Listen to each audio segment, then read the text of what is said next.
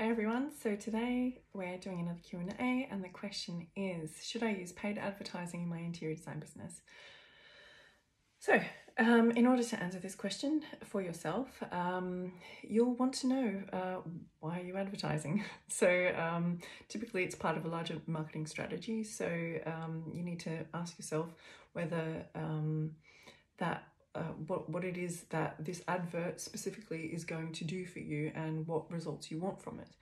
Because um, uh, in most cases, um, interior designers are looking to get more clients, but um, paid advertising isn't just to get more clients, it's um, potentially to sell a product. Uh, product. Um, you're, you know, to get more clients, you're probably wanting to provide a service. Um, are you creating brand awareness? Um, so are you trying to gener generate leads to um, sell a specific low cost product that you're um, doing through digital marketing? So what is the reason you're advertising? Um, that is firstly uh, what you need to get clear on before you can really make a decision whether um, you should advertise in your business. obviously, I work with specifically startups. So, you know, for me, I think for this video, let's focus on the purpose. So the purpose of this video, I think let's fo focus on um, how to get clients or whether um, it's right to advertise possibly at the startup stage um, to get clients to provide a service. Because I think this is typically why people um, or interior designers do advertise at the beginning because they they think that they're um, doing some kind of marketing and advertising because they're paying somebody to generate leads or potential clients for them. But um, in all honesty, most of the time you're just wasting your money and just giving yourself the feeling that you're um, uh, getting hopeful that you might get a client. Does that make sense?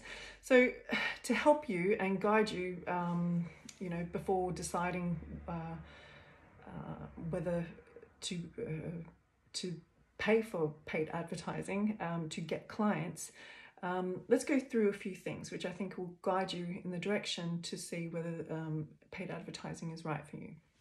So, firstly, um, do you know that the service that you're um, that you're proposing to sell is actually sellable? So, has anyone ever purchased this service from you?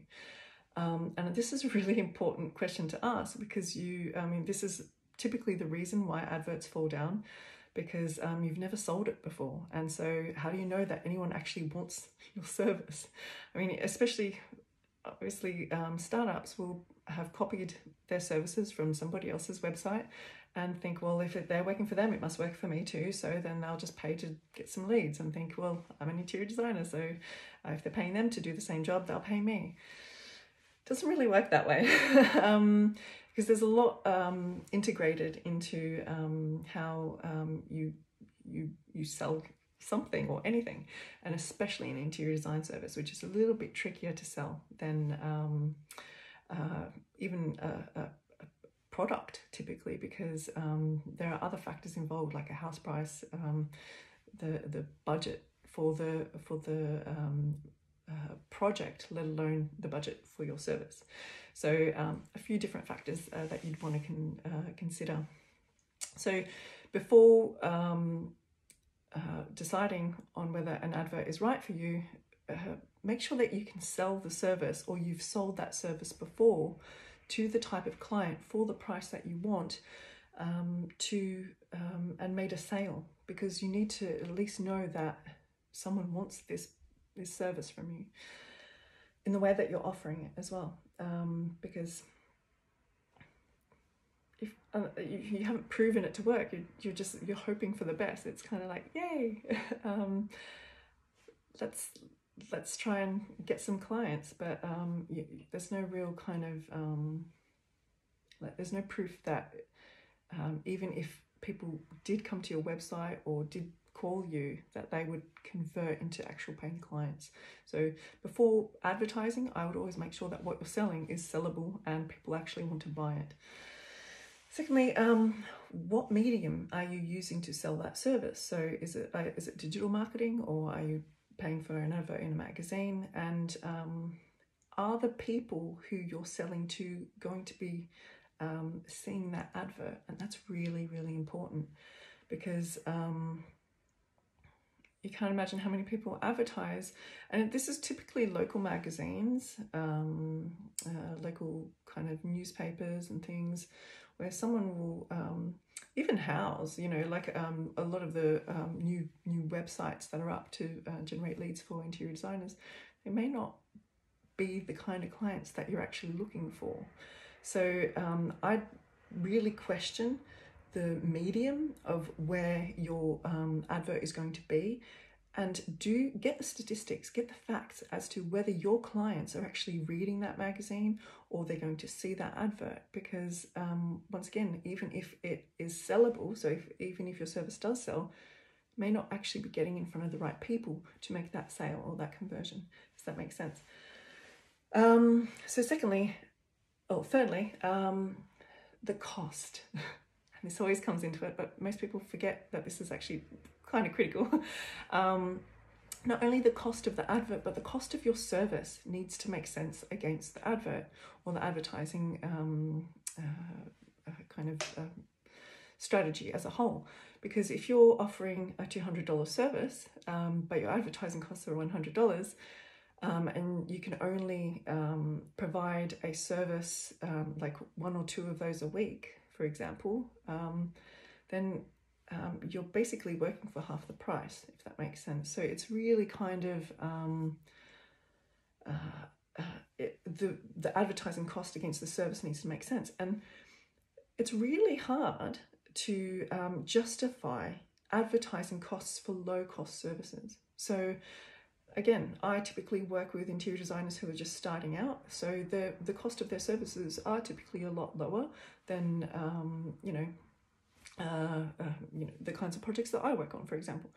Uh, but selling a, um, uh, I mean, even a, an online product for a high price is actually really difficult to sell to a cold lead, for example. Um, it's possible. Obviously, I do that, um, but you need to know what you're doing in order to sell a high ticket item to people who don't know who you are. Um, they need to, you know, get to know you or um, trust you in some kind of way that you actually have the skills to present the service that they're looking for. Um, so um, the the cost of that advertising is really, really quite important especially if, um, like I said, if you're offering a consultation or trying to, um, you know, build build a, um, and even sell an e-design, for example, which is typically a low cost um, product, sorry, service, um, you'll be um, really close because marketing isn't cheap, advertising isn't cheap. It's it's typically very very expensive. And so the cost of your service needs to make sense against the advertising costs so that you're actually making money on the service not just um, you know getting lucky and getting a client and then working for free um, so hopefully this starts to make sense obviously if you're selling a product so if you're kind of selling a lead magnet um, to sell a low cost product or something or um, you know, a subscription service of some kind.